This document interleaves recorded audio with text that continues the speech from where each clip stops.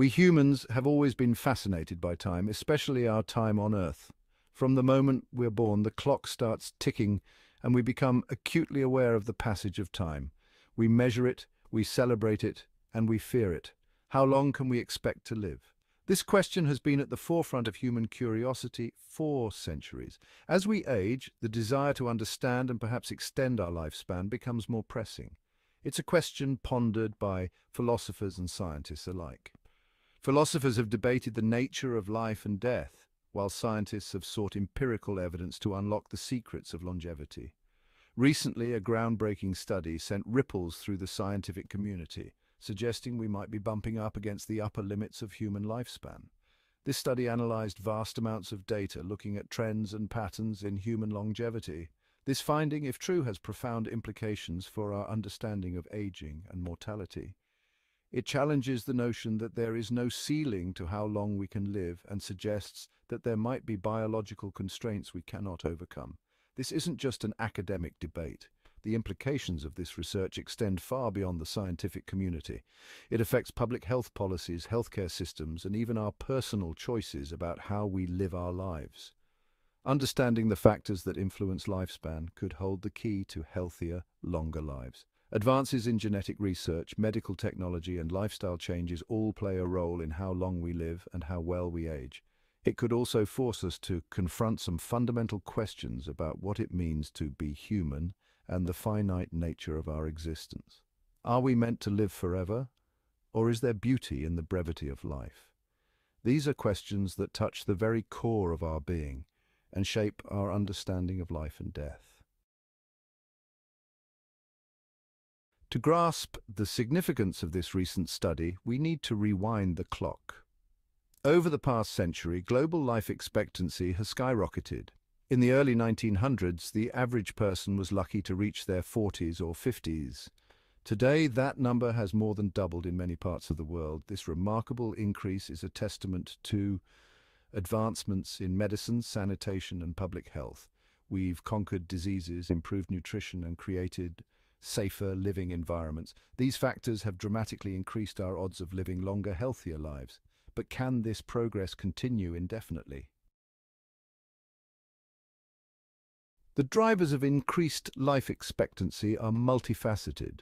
Improved sanitation and hygiene practices have dramatically reduced the spread of infectious diseases, which were once major killers. Advances in medical technology have led to the development of life-saving treatments and vaccines. Antibiotics, for instance, revolutionized our ability to combat bacterial infections. Beyond medical interventions, our understanding of nutrition has improved drastically. We now know the importance of a balanced diet rich in fruits, vegetables and essential nutrients, contributing to better overall health and disease prevention. Additionally, increased awareness of healthy lifestyle choices like regular exercise and stress management has also played a role in extending our lifespans. Now, back to the present and the groundbreaking study that claims we may have reached peak lifespan. This study has sent ripples through the scientific community, challenging long-held beliefs about the potential for human longevity. Using complex statistical models and analyzing demographic data from around the world, researchers concluded that the rate of increase in life expectancy has been slowing down.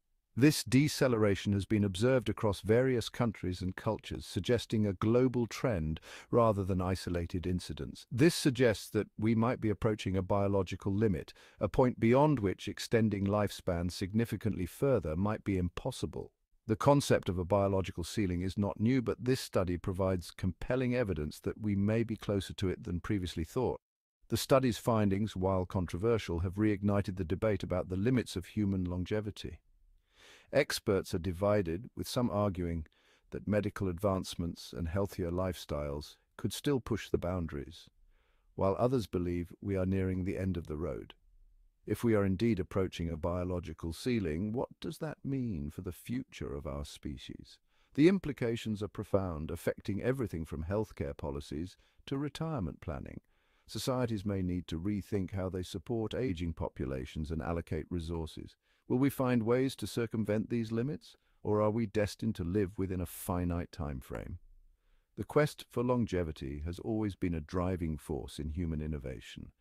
As we stand on the brink of this potential ceiling, the future of our species may depend on our ability to adapt and innovate in the face of biological constraints. Section 5, Our Biological Blueprint, A Finite Timeline. In this section, we delve into the intricate details of our biological makeup to understand the concept of a finite timeline in human life. To understand the concept of a biological limit, we need to look at the very building blocks of life, our cells. These microscopic units are the foundation of all living organisms, and their behavior dictates much of our biological destiny. Each time a cell divides, it makes a copy of its DNA. This process, known as DNA replication, is crucial for growth, development and repair in our bodies.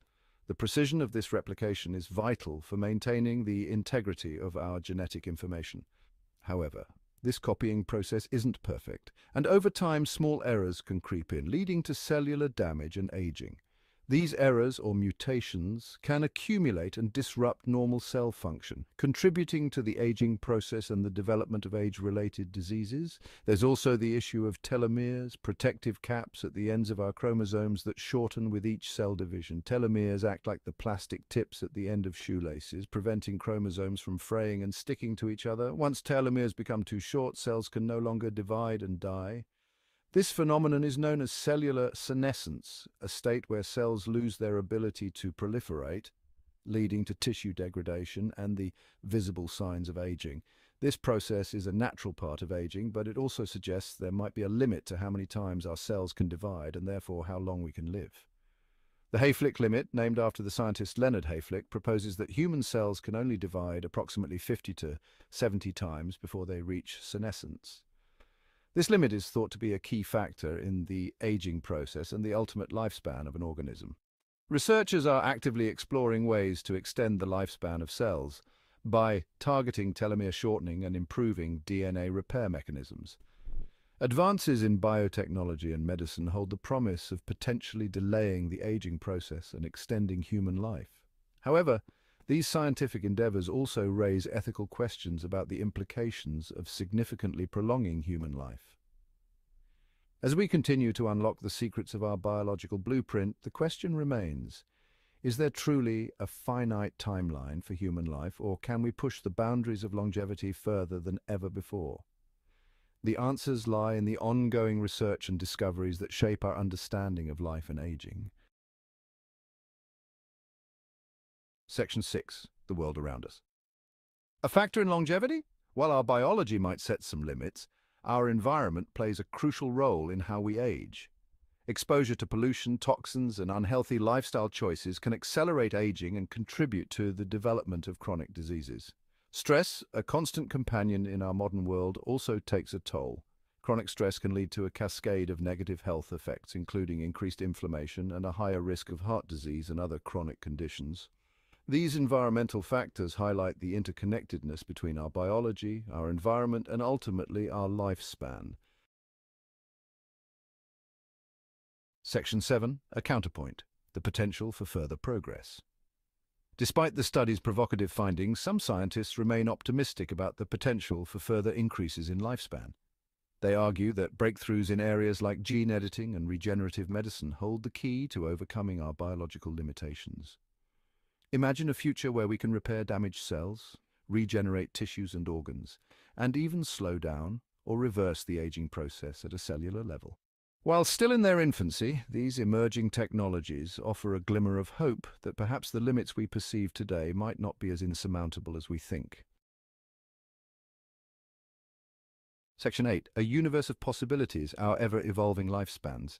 The debate about human lifespan is far from over, while the recent study suggests we might be approaching a biological ceiling, the quest to understand and potentially extend our years continues. As science and technology advance, we may uncover new secrets about aging and discover ways to live longer, healthier lives.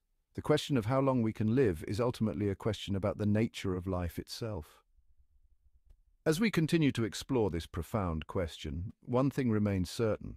Our understanding of lifespan, like the universe itself, is constantly evolving.